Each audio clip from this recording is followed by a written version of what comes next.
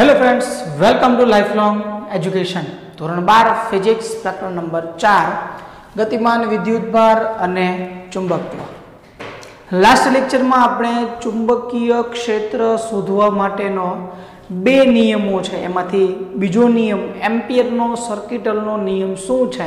એની આપણે વિસ્તૃત ચર્ચા કરેલી હતી. બરાબર? ચુંબકીય ક્ષેત્ર શોધવા માટેના બે નિયમો છે. એક બાયોસાવરનો નિયમ અને બીજો જે છે, એમ્પિયર સર્કેટનનો નિયમ. એમ્પિયર સર્કેટનના નિયમનું ગાણિતિક સૂત્ર શું છે? તો કે close integration B dot DL is equal to summation sorry mu zero summation I બરાબર સમજો કે અહીંયા તમે જે આ બી ડોટ ડીએલ જે છે, એની અંદર જે બી જે છે, એ તમામ પ્રવાહોને કારણે ઉત્પન્ન થતું ચુંબકીય ક્ષેત્ર છે. જ્યારે અહીંયા સમેશન આઈ જે છે, એ આપણે એમ્પિયરના નિયમમાં શીખી ગયા હતા કે તમારે કોઈ પણ એક બંધ પૃષ્ઠ લેવાનું. એ પૃષ્ઠની અંદર કેટલા તાર કે કેટલા વિદ્યુત પ્રવાહ છે, એ બધા વિદ્યુત પ્રવાહનો બેઝિક સરવાળો કરીને તમને અહીંયા સમેશન આઈ મળશે. માત્ર પૃષ્ઠના અંદરના ભાગમાં હોય એ. શા માટે એમ્પિયરના નિયમ જરૂરિયાત પડી હતી? તો કે ઘણા બધા તાર હોય, એકી સાથે ચાર, પાંચ કે દસ, બાર તાર હોય, તો બધા તારોના કારણે કોઈ એક બિંદુએ ચુંબકીય ક્ષેત્ર મેળવવું હોય, તો એ બાયોસાવરના નિયમને આધારે મળે. પણ સંપાતપણાના સિદ્ધાંત મુજબ તમારે એક એક તારનું પહેલાં મેળવવું પડે, બધાનો સરવાળો કરવો પડે, એટલે થોડીક ગણતરી થોડીક જટિલ બની જાય. તો આ જટિલ ગણતરીને સરળ બનાવવા માટે આ નિયમ જે છે એ આપેલો હતો. હવે જો આ નિયમ કેટલીક શરતોને આધારે જ લાગુ પાડી શકાય. શરત એવી છે કે અહીંયા આ વિદ્યુત પ્રવાહ તમને જે મળે છે, આ જે તારમાંથી આસપાસ તમારે ચુંબકીય ક્ષેત્ર શોધવાનું હોય, એ તારની અંદર વિદ્યુત પ્રવાહનું સતત વિતરણ થતું હોવું જોઈએ. સતત વહન, આપણે કહી શકીએ. સતત વહન એટલે શું? તો કે માનો કે આ ધારો કોઈ તાર છે. આ તારની અંદર કોઈ એના સેન્ટર એની અક્ષ છે, અક્ષ પાસે પ્રવાહ વધારે હોય, સપાટી પાસે પ્રવાહ ઓછો હોય, વચ્ચે થોડોક વધુ અથવા ઓછો હોય, એવી રીતે નહીં. આખે આખા આડછેદ ઉપર દરેક જગ્યાએ વિદ્યુત પ્રવાહનો એક સરખો જ જથ્થો હોવો જોઈએ. તો આને વિદ્યુત પ્રવાહનું સતત વિતરણ થાય છે, એવું આપણે કહી શકીએ. એટલે જો વિદ્યુત પ્રવાહ સતત વિતરણ થયેલું હોય, તો જ આપણે એમ્પિયરના નિયમનો ઉપયોગ કરી શકીએ. બરાબર? ચાલો. એમ્પિયરના નિયમોના ઉપયોગો શું છે? એની આપણે આજે આ લેક્ચરની અંદર વાત કરીશું. બરાબર? ઘણા બધા ઉપયોગો છે. એમાંનો એક ઉપયોગ જે છે એ આપણે એવું કહી શકીએ કે કોઈ પણ તાર હોય, એ તારમાંથી ચુંબકીય ક્ષેત્ર તમારે શોધવું હોય, તો એ ચુંબકીય ક્ષેત્ર મેળવી શકીએ. બરાબર? સમજો જો તાર હોય, તો તારને હું બે પ્રકારના વિચારી શકું. એક જો એ તાર જે છે, એ એકદમ નક્કર હોય અથવા તો તાર અથવા તો આપણે સળિયો કહીએ, તો એ સળિયો જે છે એ કાં તો પોલો હોય. ચાલો નક્કર અને પોલાનો અર્થ શું થાય એ સમજો. નક્કર અને પોલો નક્કરનો આનો મતલબ એવો થાય કે અંદર પણ દ્રવ્ય ભરેલું હોય, જેમ કે આપણા સળિયા જે હોય, લોખંડના સળિયા સેનેટિંગ માટે વપરાતા હોય, એ સળિયા તમે જુઓ તો અંદર એ દ્રવ્ય ભરેલું હોય. જ્યારે પાઇપ તમે જુઓ પાણી વોટર ફ્લો માટેની જે પાઇપ છે, એ પાઇપ તમે જુઓ અંદરથી કેવી હશે? પોલી હશે, અંદર મટીરિયલ નહીં હોય. તો એક જે છે ભાગ તમે કયો કહી શકો? પોલો નળાકાર અથવા તો પોલો સળિયો અને એક જે છે એ નક્કર સળિયો. તો આજના લેક્ચરની અંદર આપણે નક્કર સળિયો હોય, એની અંદર ઉદ્ભવ થતું ચુંબકીય ક્ષેત્ર કેવું હોય એની વાત કરીશું. અને આના પછીના નેક્સ્ટ લેક્ચરની અંદર જો સળિયો પોલો હોય, તો પોલા સળિયાની અંદર ચુંબકીય ક્ષેત્ર કેવું અને એનું મૂલ્ય કેટલું હોય એની આપણે વાત કરીશું. જો હવે આ સળિયો એક નક્કર અને પોલો થયો. હજી આપણે આના પેટા પ્રકાર આપણે બીજા પાડી શકીએ. કે ભાઈ સળિયો જે છે, એ એકદમ પાતળો છે કે થોડોક જાડો છે? જો પાતળો હશે, તો પણ આપણને અલગ અલગ કિસ્સાઓ મળશે. અને સળિયો થોડોક જાડો હશે, તો પણ આપણને અલગ અલગ કિસ્સાઓ મળશે. એક માનો એકદમ પાતળો તાર છે. તો આની અંદર ઉત્પન્ન થતું ચુંબકીય ક્ષેત્ર અને એક થોડોક જાડો સળિયો છે. એનો આડછેદનું જે વર્તુળ છે, એ વર્તુળની ત્રિજ્યા થોડીક મોટી હોય. તો આવો જાડો સળિયો છે. તો એની અંદર આપણને અલગ અલગ કિસ્સાઓ મળશે. તો નક્કર જે છે, એ નક્કરની અંદર આપણે પાછા બે પ્રકાર પડીએ કે એક જે છે, એ પાતળો તાર અથવા તો પાતળો સળિયો અને એક જે છે, એ જાડો સળિયો. પોલાની અંદર એક આપણે પાતળો સળિયો અને બીજો જે છે, એ જાડો સળિયો. બરાબર? ચાલો. તો આટલા પ્રકાર પડે છે. આપણે અત્યારે શરૂઆત કરશું નકર નળાકાર એટલે કે સળિયો અથવા તો તારમાંથી ઉત્પન્ન થતું ચુંબકીય ક્ષેત્ર. ચાલો, શરૂઆત કરીએ કે ભાઈ, નક્કર, નળાકાર એટલે કે સળીઓ માંથી ઉત્પન્ન થતું ચુંબકીય ક્ષેત્ર. ચાલો, એમાં આપણે પેલો પાર્ટ એવો પાડીએ. માનો કે તાર જે છે એ કેવો છે? પાતળો તાર છે. એકદમ પાતળો તાર છે. સમજી લ્યો. સમજી લ્યો કે ભાઈ આ એક પાતળો તાર છે. બીજું કે અનંત લંબાઈનો છે. જો આ એમ્પિયર સર્કેટલનો નિયમ છે એની તમને એક શરત કીધી કે પ્રવાહ સતત હોવો જોઈએ અને બીજા નંબરની બીજી શરત એવી છે કે તમારો તાર જે છે ને એ અનંત લંબાઈનો હોવો જોઈએ. આ બે શરતનું પાલન થતું હોવું જોઈએ. તો તમે ત્યાં એમ્પિયરના સર્કેટલના નિયમનો ઉપયોગ કરી શકો. તો માની લો કે આ તાર તમારો કેવો છે? અનંત છે. હવે તાર એકદમ પાતળો છે. પાતળો તાર હોવાના કારણે આપણે અંદરના ભાગની અંદર ચુંબકીય ક્ષેત્ર કેટલું હોય એનું મૂલ્ય માપી શકશો નહીં, કારણ કે ત્રીજી એની બહુ નાની છે. એટલે અંદરના ભાગમાં આપણે મેઝર કરી શકશો નહીં. તો કેમ માપીએ? તો કે બહારના કોઈ પણ બિંદુ, માનો કે અહીંયા આ આપણે બિંદુ એક કહીએ, આ બિંદુ એક પાસે ચુંબકીય ક્ષેત્રનું મૂલ્ય કેટલું હોય એ આપણે માની લો કે મેઝર કરવું છે. બરાબર? તો એમ્પિયરના સર્કિટલના નિયમના ઉપયોગથી આપણે મેઝર કરીએ. તો એમ્પિયર એવું કહે છે કે તમારે જે બિંદુએ ચુંબકીય ક્ષેત્ર શોધવું હોય, એ બિંદુએ તમારે કોઈ પણ એક બંધ પૃષ્ઠ વિચારવું પડશે. હવે આ પૃષ્ઠ કેવું હોય, એની આપણે ચર્ચા કરી ગયા હતા કે એને આકાર સાથે કોઈ લેવા દેવા નથી. તમે વર્તુળ રાખી શકો, લંબ વર્તુળ રાખી શકો, ચોરસ રાખી શકો, ત્રિકોણ રાખી શકો કે પછી બીજા કોઈ પણ અનિયમિત આકાર પણ રાખી શકો. અહીંયા સરળતા ખાતર અને જેના સૂત્ર અવેલેબલ હોય, એવું આપણે કોઈ પૃષ્ઠ વિચારવાનો આગળ રાખશું. કારણ કે જો તમે અનિયમિત રાખશો, તો એનું ચુંબકીય ક્ષેત્ર મેળવવું થોડુંક જટિલ પડશે. મળી જશે નો ડાઉટ પણ થોડુંક ક્ષેત્ર એ મેળવવું અને સૂત્રની ગણતરી કરવી થોડીક અઘરી પડશે.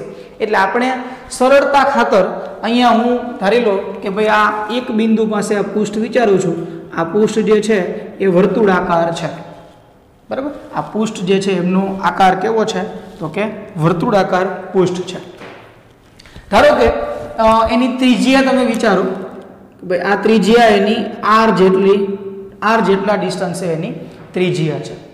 તો આપણે એના ડિસ્ક્રિપ્શનની અંદર લખી શકીએ કે કોઈ એક તાર કે જેમાંથી આઈ જેટલો પ્રવાહ, આપણે વિચારીએ કે ઉપર તરફ આઈ જેટલો પ્રવાહ છે એ પસાર થાય છે. બરાબર?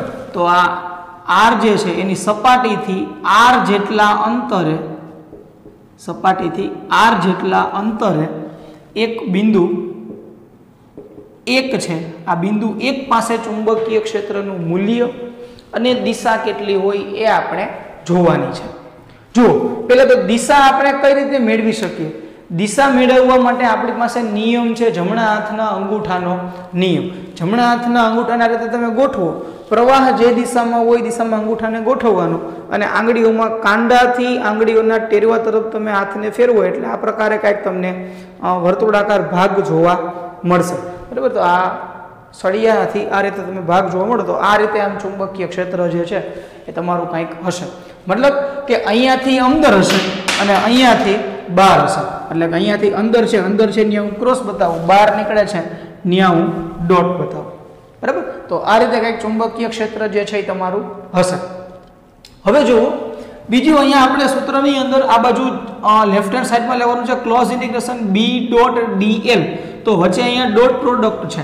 એટલે આપણે શું મૂકી શકીએ? તો કે કોસ થીટા તો અહીંયા લખીએ આપણે કે ભાઈ એમ્પિયરના નિયમ મુજબ,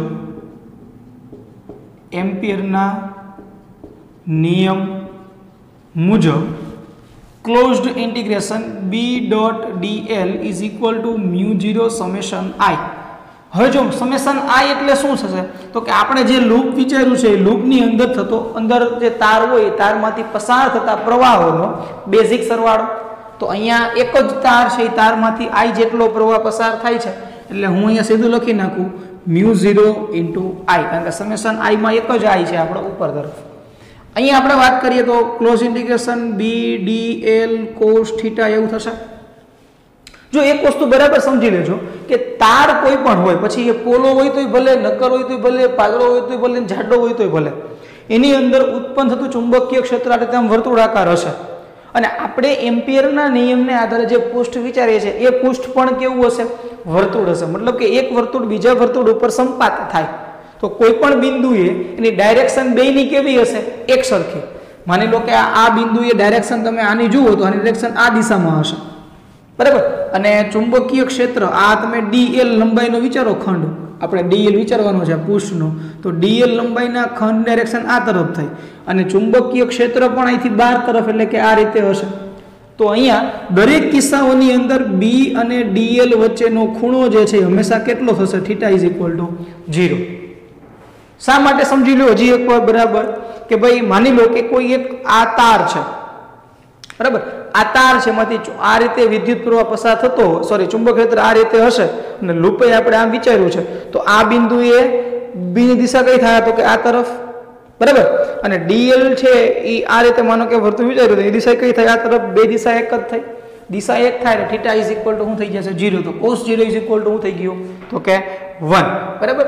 તો આને બરાબર આપણે વન મૂકીએ, તો સીધું અહીંયા બીને તમે બહાર ખેંચી લ્યો. B close integration D L is equal to mu zero I ચાલો ક્લોઝ ઇન્ટિગ્રેશન ડી એલ મતલબ કે હવે તમારે ડીએલ ડીએલ ડીએલ ડીએલ જેટલા હોય બધાનું શું કરવાનું થાય? સંકલન. તો સંકલન જે છે, એ આખે આખું શું થઈ ગયું? તો કે વર્તુળનો પરીખ થઈ ગયું. વર્તુળના પરિઘ સૂત્ર શું થશે? ટુ પાય આર તો અહીંયા આપણે મૂકી શકીએ B is equal to two pi R is equal to mu zero I two pi આરને આવવા દો છેદમાં. એટલે B is equal to mu zero I છેદમાં ટુ પાઈ આર ચાલો, આ જે છે એ તમને બી વન એટલે કે પેલા બિંદુ પાસે ઉત્પન્ન થતું ચુંબકીય ક્ષેત્ર મળે. ચાલો ક્લિયર છે? તો આ આપણે વાત કરી નક્કર સળીઓ છે અને એકદમ પાતળો છે. તો પાતળા સળિયાની બહારના ભાગમાં આ રીતે કોઈ પણ બિંદુએ તમે ચુંબકીય ક્ષેત્ર જુઓ, તો B is equal to mu zero I upon two pi R આ સૂત્ર વડે તમે કિંમત જે છે એ શોધી શકો. બરાબર? હવે કઈ કઈ વસ્તુ જરૂરત પડશે તો કે તારમાંથી કેટલો પ્રવાહ પસાર થાય છે? પ્રવાહ જોવાનો. અને તારથી કેટલા લંબ અંતરે બિંદુ જે છે એ તમારે અંતર જોવાનું. આ બે કિંમતો હશે, બાકી મ્યુ ઝીરોની કિંમત કોન્સ્ટન્ટ છે four pi into ten raise to minus seven tesla metre per ampere અને ટુ પાય પાય એમાં કોન્સ્ટન્ટ છે થ્રી પોઈન્ટ વન ફોર ચાલો. તો આ વાત થઈ આપણે. પાતળો તાર હોય તો. હવે હું અહીંયા વાત કરું છું કે જો તાર જે છે, એ જાડો તાર હોય. બરાબર? જાડો તાર હશે તો મારે કંઈક આ રીતે એને બનાવવું પડશે. બરાબર? આ સમજી લો કે ભાઈ આ જાડો તાર છે. ક્લિયર આ જે છે મેં આ રીતે બતાવ્યો. જો એનો આડછેદ બતાવી, તો આડ આડછેદ છે એ તમારો કંઈક આ રીતે તમને જોવા મળશે. માની લો કે આડછેદ. નળાકારનો આડછેદ હંમેશા કેવો હોય? વર્તુળ. કમ્પ્લીટ? ધારી લો કે ભાઈ આની ત્રિજ્યા, આ જે છે નળાકારની ત્રિજ્યા ફોર એક્ઝામ્પલ કે એ જેટલી છે. એટલે કે આ ત્રિજ્યા તમે જુઓ, આ એનું કેન્દ્ર, તો આ ત્રિજ્યા કેટલી હોય? તો કે એ જેટલી હશે. હવે જો આની અંદર આપણે અલગ અલગ ત્રણ કિસ્સા વિચારવાના છે. આપણે વિચારીએ કે ભાઈ આમાંથી આમ ઉપર તરફ આઈ જેટલો પ્રવાહ પસાર થાય છે, ઉપર તરફ આઈ જેટલો પ્રવાહ પસાર થાય છે. તો ઓસ્ટ્રેડે કીધું કે જો કોઈ વાહક તારમાંથી વિદ્યુત પ્રવાહ પસાર થતો હોય તો એ ચુંબક તરીકે વર્તે. એટલે કે આ સળીઓ નળાકાર જે નક્કર સળીઓ છે, જાડો, એ ચુંબક તરીકે વર્તશે એની આસપાસ ચુંબકીય ક્ષેત્ર ઉત્પન્ન થશે.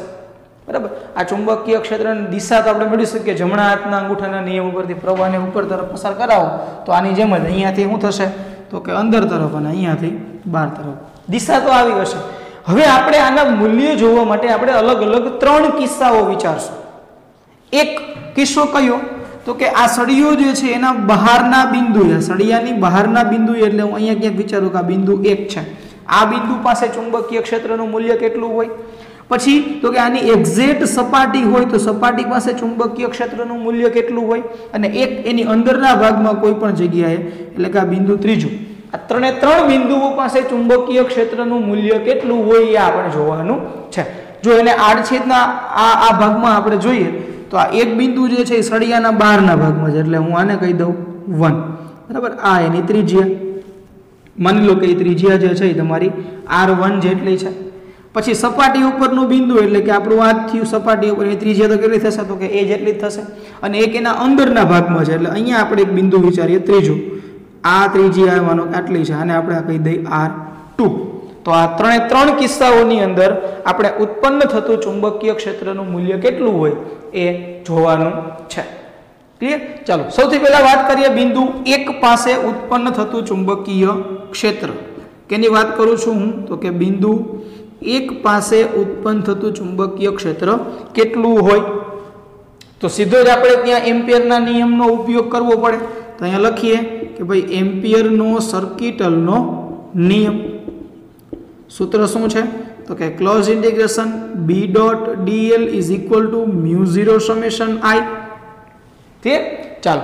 તો એમ્પિયર એવું કહે છે કે તમારે જે બિંદુએ ઉત્પન્ન થતું ચુંબકીય ક્ષેત્ર ગોતવું છે એ બિંદુએ તમારે પહેલા એક પૃષ્ઠ વિચારવાનું. તો માની લો કે આ બિંદુને સમાવતું હોય એવું હું અહીંયા એક પૃષ્ઠ વિચારું. આ પ્રકારનું અહીંથી તો બનાવવું હોય તો આપણને કંઈક આવું પૃષ્ઠ બને. ચાલો ક્લિયર છે? તો આ પૃષ્ઠની અંદર આ બી જે છે એ આપણને ટોટલ બી મળશે. પણ સમેશન આઈ જે છે એ પૃષ્ઠની અંદરથી પસાર થતો પ્રવાહ છે.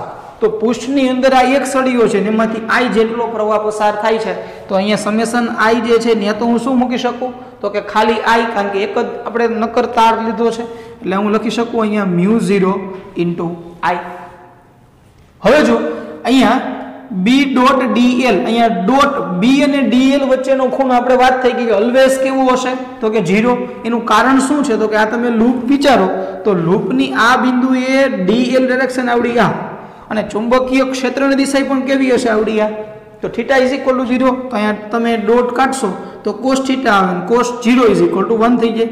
બીને તમે બહાર ખેંચી લ્યો તો B close integration sorry close integration D L આવું કંઈક તમને જે છે એ ફોર્મ્યુલા મળશે. બરાબર? હવે આ ક્લોઝ ઇન્ટિગ્રેશન ડીએલ એટલે કે આ ડીએલ ડીએલ નંબર સરવાળો કરો એટલે આ વર્તુળનો આપણને પરિઘ મળે. ત્રિજ્યા કેટલી છે એની? તો કે આર વન તો અહીંયા તમે મૂકો કિંમત કે બી પછી two pi R one is equal to mu zero I તમારે બી ગોતવું છે. કયા બિંદુએ તો કે વન પાસે, એટલે વન વન લખી નાખો. તો B one is equal to mu zero I છેદમાં ટુ પાઈ આર વન તો આ જે છે એ તમને કિંમત મળી ક્યાં? તો કે પેલા બિંદુ પાસે ઉત્પન્ન થતું ચુંબકીય ક્ષેત્ર. ચાલો ક્લિયર છે? હવે આપણે વાત કરીએ બિંદુ બીજા પાસે. બિંદુ બે પાસે ઉદ્ભવતું ચુંબકીય ક્ષેત્ર. બિંદુ બે કઈ જગ્યાએ છે? તો કે એક્ઝેક્ટ સપાટી ઉપર છે. તો એમ્પિયરના નિયમનો આપણે ઉપયોગ કરશું તો એમ્પિયર એવું કહે છે કે તમારે જે બિંદુએ ચુંબકીય ક્ષેત્ર શોધવું હોય, એ બિંદુએ તમારે કોઈ પણ એક પૃષ્ઠ વિચારવાનું. તો જો હું આ બી બી બીજું બિંદુ છે, તો ત્યાં આવી રીતે માનો કે આવી રીતે આમ પૃષ્ઠ એક વિચારું. આવું વર્તુળાકાર. અહીંયા તો કે આ રીતે આપણું જે તારની સપાટી જે છે એ જ આપણું કંઈક પોસ્ટ બનશે. ક્લિયર તો આપણે અહીંયા હવે એમ્પિયરના નિયમનો ઉપયોગ કરીને લખીએ કે ભાઈ એમ્પિયરના નિયમ મુજબ, એમ્પિયરના નિયમ મુજબ શું થશે? તો કે close integration B two D L is equal to mu zero summation I ચાલો બી ટુ શા માટે લખ્યું? તો કે આ બી વન આપણને અહીંયા મળી ગયું છે. આપણે બીજા બિંદુએ ગોતવાનું છે, એટલે આપણે બી ટુ અહીંયા લખશું. ઓકે સમેશન આઈ શું છે? તો કે સમેશન આઈ એટલે આપણે જે પૃષ્ઠ વિચાર્યું હોય એ પૃષ્ઠના અંદરના ભાગમાં ઉત્પન્ન થતું ચુંબકીય ક્ષેત્ર. તો આની અંદર જો આખે આખો તાર છે ને, આપણે જે પૃષ્ઠ વિચાર્યું છે આ પૃષ્ઠ, તો આખો તારમાંથી અંદર આવી જાય છે. તો આખો તાર હોય તો પ્રવાહ તો કેટલો થશે? તો કે આઈ જેટલો જ થાય. તો આ સમીકરણની અંદર હું જે છે, એ મ્યુ ઝીરો સમેશન આવી જગ્યાએ ખાલી આઈ જ મૂકું છું. કમ્પ્લીટ અહીંયા ડોટ છે. તો બી ડોટ ડીએલ એમાં theta is equal to always zero so cos zero is equal to one તો આની કિંમત સીધી થઈ જશે. Close integration B two D L dot નીકળી જશે. બી કોન્સ્ટન્ટને બહાર ખેંચી લ્યો. એટલે B two close integration D L આવું કંઈક મળશે. Close integration D L DL DL એટલે તમારે આ આવે લેવાનું થાય. ડીએલ ડીએલ ડીએલ ડીએલ ને તમે લ્યો. તો આ તમારું વર્તુળ બને. તો આ વર્તુળનો પરિઘ ત્રિજ્યા કેટલી છે? એ તો પદિક સૂત્ર ટુ પાઈ આર આને જગ્યાએ તમારે મૂકી દેવાનું થશે. એ. તો આવું કંઈક થાય. B two into two pi a is equal to mu zero I. તો B two is equal to mu zero I છેદમાં ટુ પાઈ એ. ચાલો કમ્પ્લીટ છે. તો આ તમને જે ચુંબકીય ક્ષેત્ર મળ્યું કયા જગ્યાએ? તો કે બિંદુ બે પાસે ઉત્પન્ન થતું ચુંબકીય ક્ષેત્ર. ચાલો. હવે આપણે વાત કરવાની છે કઈ જગ્યાએ? તો કે ત્રીજું બિંદુ. ત્રીજું બિંદુ ક્યાં છે? તો કે નળાકાર સળીઓ જે છે, એની અંદરના ભાગમાં છે. તો અહીંયા હું લખું છું કે ભાઈ, બિંદુ ત્રણ. પાસે ઉદ્ભવતું ચુંબકીય ક્ષેત્ર. ચાલો. તો ત્યાં પણ આપણે તો પહેલા એમ્પિયરના નિયમનો ઉપયોગ કરવો પડશે. એમ્પિયરનો નિયમ તો એવું કહે છે કે તમારે જે બિંદુએ ચુંબકીય ક્ષેત્ર શોધવું હોય, એ બિંદુએ પહેલાં તમારે એક બંધ પૃષ્ઠ વિચારવું પડશે. તો ધારો કે આ બિંદુએ આપણે ગોતવું છે, તો આપણે આ એક પ્રકારનું એક બંધ પૃષ્ઠ વિચારીએ. અહીંથી જોવું હોય તો તમને આ પ્રકારનું કંઈક બંધ પૃષ્ઠ મળે. બરાબર? જેની ત્રિજ્યા કેટલી છે? તો કે આર ટુ જેટલી ત્રિજ્યા છે. ચાલો. તો અહીંયા આપણે સૌથી પહેલા એમ્પિયરના નિયમનો ઉપયોગ કરીએ, એટલે એમ્પિયરના નિયમ મુજબ closed integration B dot DL is equal to mu zero summation I ચાલો, હવે અહીંયા ખાસ એક વસ્તુ ધ્યાનમાં રાખજો. અહીંયા તો તમે બી અને ડીએલ નો એંગલ તો આપણે તારના કિસ્સામાં ઓલવેઝ છે એ ઝીરો થશે. જો આપણે લૂપ વર્તુળાકાર વિચારીએ તો. એટલે થીટા તો ઝીરો થઈ ગયો, એટલે અહીંયા બહુ પ્રશ્નો નથી. અહીંયા તો તમે સીધું લખી શકશો. બી ક્લોઝ ઇન્ટિગ્રેશન ડીએલ બરાબર? તમે અહીંયા લખી શકશો ક્લોઝ ઇન્ટિગ્રેશન ડીએલ એટલે તો કે ડીએલ ડીએલ સરળ કરો એટલે એની ત્રિજ્યા આર ટુ છે એટલે તમે લખી શકશો અહીંયા ટુ પાઈ આર ટુ આવું લખી શકશો. પ્રશ્નો હવે અહીંયા છે. સમેશન આઈ બરાબર શું લખવું? સમેશન આઈ બરાબર ખરેખર છે શું? તો કે આપણે જે લૂપ વિચાર્યું છે એ લૂપની અંદર કેટલો પ્રવાહ છે? એ તો આની અંદર કેટલો પ્રવાહ થશે લૂપ કયું છે આપણું આવડું આ? તો આપણે આ પ્રવાહ છે એ શોધવાનો. છે. બરાબર? એટલે કે આટલા ભાગમાંથી પ્રવાહ કેટલો પસાર થાય શોધવાનો છે? તો આખો સળિયો હોય તો પ્રવાહ કેટલો પસાર થાય? તો કે આઈ જેટલો. હવે એનો ભાગ ઘટી ગયો છે. કેટલો ઘટ્યો? એ આર ઉપર ડિપેન્ડેડ રહે. તો આ પ્રવાહ પસાર થતો કે આમાંથી પસાર થતો પ્રવાહ શોધવો હોય તો? તો તમે આડછેદ વિચારો. જો આનો આડછેદ, આ માનો કે તાર આટલો હોય, તો આડછેદની ત્રિજ્યા કેટલી થાય? તો કે એ જેટલી. તો જો અહીંયા હું થોડુંક રફ વર્ક કરું છું, બરાબર સમજે? કે ભાઈ, માની લો કે ત્રિજ્યા એ જેટલી છે, તો એનું ક્ષેત્રફળ કેટલું થાય? તો કે પાઈ એ સ્ક્વેર જેટલું ક્ષેત્રફળ થાય. તો જો પાઈ એ સ્ક્વેર જેટલું ક્ષેત્રફળ થાય, તો પસાર થતો પ્રવાહ માનો કે આઈ જેટલો છે, કુલ થઈ ગયો ને? હવે એનું ક્ષેત્રફળ ઘટી ગયું. ત્રિજ્યા કેટલી થઈ ગઈ, તો કે આર ટુ જેટલી થઈ ગઈ. તો એના આટલા ભાગના આડછેદનું ક્ષેત્રફળ કેટલું થાય? તો કે ટુ પાઈ આર ટુ નો સ્ક્વેર.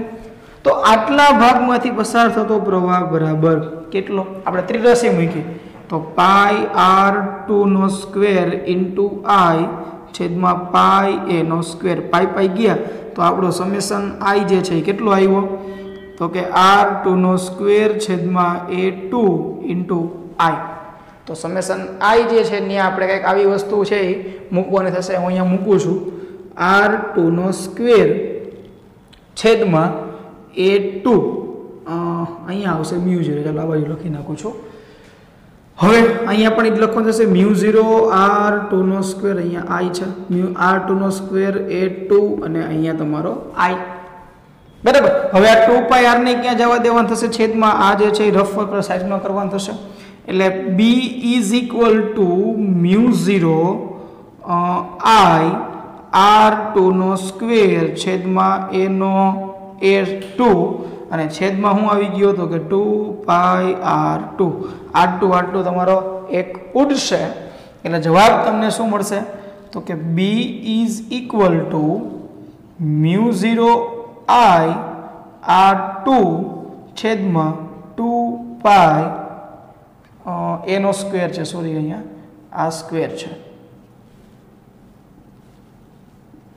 એનો ટુ પાઈ એનો સ્ક્વેર.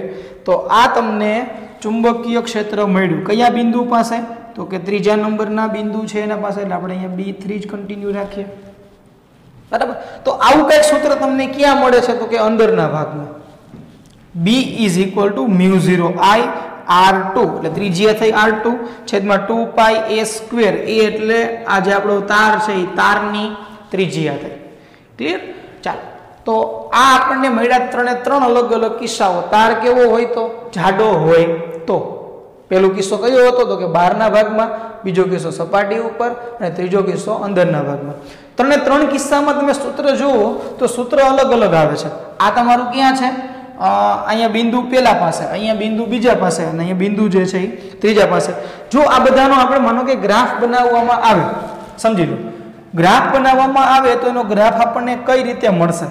હું આ ગ્રાફ બનાવું છું ચુંબકીય ક્ષેત્ર B versus distance R ready અહીંયા જીરો છે. મતલબ કે આ તારની અક્ષ છે. અક્ષ એટલે કઈ થશે? તો કે આ જે છે એની અક્ષ થઈ. અક્ષ પાસે એટલે જીરો અંતર વધારતા જાઓ, વધારતા માનો કે અહીંયા જે છે આ ડિસ્ટન્સ તમારું ફોર એક્ઝામ્પલ કેની ત્રિજ્યા એ જેટલું છે એટલે કે અહીંયા આવી ગયા. હવેનો ભાગ હશે, કયો ભાગ હશે? તો કે બારનો ભાગ, બરાબર? તો અહીંથી એક્ઝેક્ટ તમારો આ ભાગ જુઓ, તો આ કયો કહેવાય? તો કે સપાટી પરનો ભાગ. આ બાજુનો ભાગ જુઓ, તો સપાટીથી કયો ભાગ કહેવાય? તો કે અંદરનો ભાગ કહેવાય. આ બાજુનો ભાગ જુઓ, તો કયો કહેવાય? સપાટીથી બહારનો ભાગ કહેવાય. બરાબર? ચાલો. તો સૌથી પહેલા અંદરના ભાગની હું વાત કરું. અંદરનો ભાગ કયો છે? તો કે અહીંયા. જો તમે જોશો અહીંયા કે મ્યુ ઝીરો કોન્સ્ટન્ટ છે, આઈ કોન્સ્ટન્ટ છે, two pi constant, a constant. કારણ કે એ એટલે એની ત્રિજ્યા, નળાકારની. ત્રિજ્યા કોન્સ્ટન્ટ હોય, એમાંથી પસાર થતો પ્રવાહ કોન્સ્ટન્ટ. પ્રવાહ તો આપણે પહેલેથી કેવો રાખવાનો કીધો? સતત. તો જ તમને આ સૂત્ર મળશે. બરાબર? તો આ બધી વસ્તુ કોન્સ્ટન્ટ છે. કિંમત કઈ ચેન્જ થાય છે? તો કે આર ટુ. તમે આર ટુ અહીંયા રાખો અહીંયા રાખો અહીંયા રાખો અહીંયા રાખો અહીંયા રાખો. આર ટુની કિંમત તમે ચેન્જ કરી શકશો. જો આર ચેન્જ થાય છે અહીંયા. તો આને તમે લખી શકો કે બી ચલે છે આર બરાબર? પણ આર કેવો છે? તો કે અંદરના ભાગમાં હોય તો. તો સમપ્રમાણ થયું. સમપ્રમાણ થયું એટલે ગ્રાફ તમને કેવો મળે? તો કે સુરેખ રેખા મળે. તો જો જીરો તમે મૂકશો એટલે અહીં જીરો હશે. અહીંયા ટુ મૂકો તો એનું બે ગણું થઈ જાય. ફોર મૂકો તો ત્રણ જેટલું થઈ જાય. તો તમને આવી કંઈક જે છે એ સુરેખ રેખા તમને મળશે. ક્યાં સુધી? તો કે સપાટી સુધી. ચાલો, સપાટી પાસે તમે કિંમત જુઓ, કેટલી છે? B two is equal to mu zero I two pi બધી કિંમત કોન્સ્ટન્ટ કારણ કે જો mu zero constant I constant two constant pi constant R constant A constant બધી કિંમત કોન્સ્ટન્ટ છે એટલે અહીંયા કિંમત તમારી આ માનો કે આટલી છે. ક્યાં? તો કે એ બિંદુએ. હવે એને બહારના ભાગમાં વિચારો તો બહારના ભાગમાં સૂત્ર આવડું આ છે. B constant sorry mu zero constant I constant two constant pi constant R વનની કિંમત ચેન્જ છે. તમે આ આર વન અહીંયા રાખો અહીંયા રાખો અહીંયા રાખો અહીંયા રાખો અહીંયા રાખો. આમાં તમે જુઓ, અહીંયા અહીંયા અલગ અલગ રાખો. તો તમારી આર વનની કિંમત ચેન્જ થાય. એટલે તમે લખી શકો કે બી ચલે છે વન અપોન આર આ પ્રમાણ કેવું થયું? વ્યસ્ત પ્રમાણ થયું. વ્યસ્ત પ્રમાણનો ગ્રાફ તમને જે છે એ ઘટતો હોય છે. જો આર તમારો જેમ વધશે બી ઘટશે. બરાબર? તો એનો ગ્રાફ તમને જે છે કે આ પ્રકારનો આમ મળશે. તો અહીંયા જે છે કિંમત એની કેવી હશે? તો કે મહત્તમ. સપાટી ઉપર ચુંબકીય ક્ષેત્ર કેવું હશે? તો કે મહત્તમ. તમે અંદર જાઓ, એમ સમ પ્રમાણમાં ઘટતું જશે. બહાર નીકળો, એમ વ્યસ્ત પ્રમાણમાં ઘટતું જશે. બરાબર? તો આ જે છે, એ થયો એનો ગ્રાફ. તમારો સળિયો કેવો છે? નળાકાર છે, નક્કર છે અને જાડો છે. તો એ તારની અંદર તમને ચુંબકીય ક્ષેત્ર કેટલું હોય એનો પ્રવાહ તમને આ પ્રકારે મળે. આ માનો કે ટેસ્લા છે એના. ફોર એક્ઝામ્પલ કે મીટરમાં છે.